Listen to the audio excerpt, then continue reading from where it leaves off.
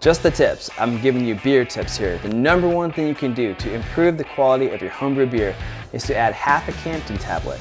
This treats up to 10 gallons of brewing water. It removes chlorine and chloramine. That stuff tastes bad. You do not want it in your finished product.